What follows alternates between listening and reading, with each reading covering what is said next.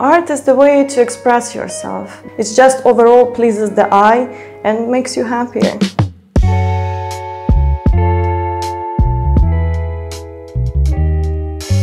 I started create my own pieces when I went to the College of Art and um, my first piece I sold, I think, when I was 21 years old, when I already started to work with epoxy. Well, epoxy appeared um, after one Canadian artist created a river table. It was basically two pieces of wood connected by the epoxy. It was just transparent blue, and he called it river table. Then the interest sparkled all around the world. It's not only tables, it's uh, like a serving sets, something like um, small pieces that you can daily use in your house, mirrors, anything that comes to your mind can be done with epoxy. When you create an art piece and it goes uh, to someone's house as, like, as a coffee table and people use it on a daily basis, it makes me happy that it's not like uh, hanging in a shelf somewhere.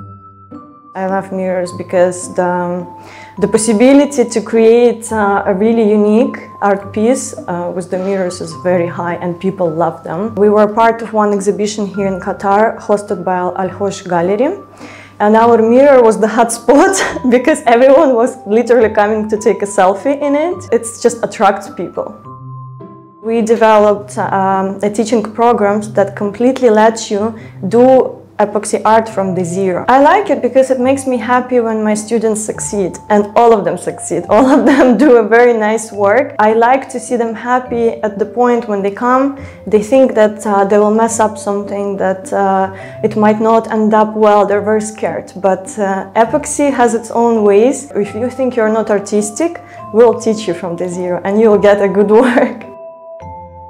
Qatar developing really fast and I like it. Uh, they host now a lot of art events, uh, mostly eco-friendly for the environment as well. It's just changing the scenery of the entire country and I'm happy that it's developing really fast and uh, that we can be a part of it.